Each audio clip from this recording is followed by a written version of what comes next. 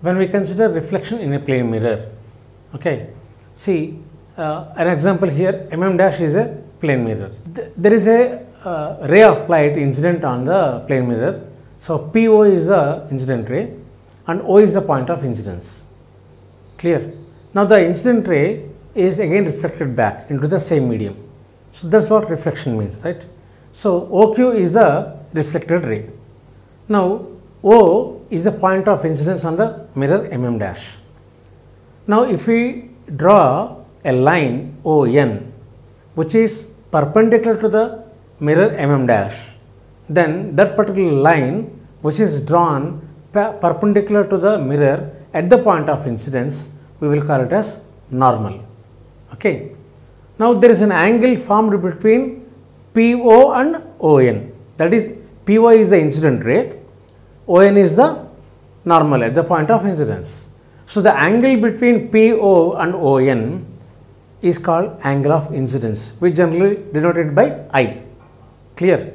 Now, similarly the, if you consider the angle between ON and OQ, OQ is called the reflected ray fine. So, the angle between ON and OQ that is angle NOQ we will call it as angle of reflection right and there is an angle between the mirror surface and the incident ray. So, this is the angle POM right.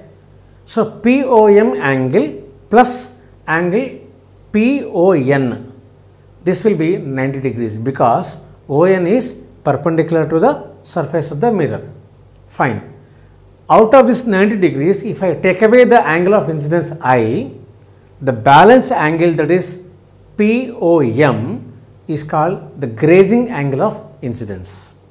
So, we will denote it by IG clear. Similarly, we will also have grazing angle of reflection that is the angle between the plane mirror, the surface of the plane mirror and the reflected ray. So, here it is angle QOM dash that is the angle of grazing angle of reflection. Now, we have certain laws of reflection which the plane mirrors will abide. Not only plane mirrors, any surface wherein a light ray is incident and is reflected back into the same medium. So, any reflection anywhere whether you talk it as whether you take the regular reflection or diffuser reflection or whatever it is. Basically, any reflection will obey these laws of reflection. When we talk about the laws of reflection, there are two laws basically. One is the angle of incidence is equal to the angle of reflection. Here you can see the angle PON and the angle QON both will be equal. That is the meaning of the first law of reflection. Angle of incidence is equal to the angle of reflection.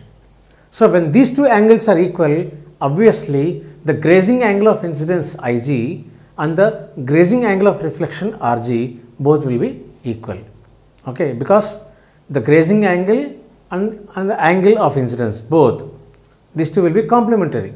Similarly, the reflecting angle of reflection and the grazing angle of reflection both are complementary. So, when I is equal to R, we will have Ig is equal to Rg.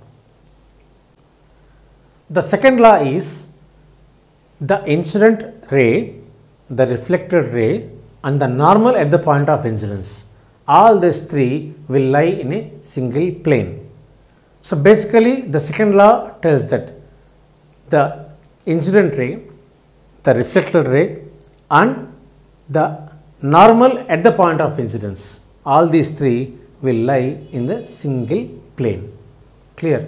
So, these two laws of reflection govern the total uh, reflection phenomenon, whether you take re regular or diffused or any type of reflection.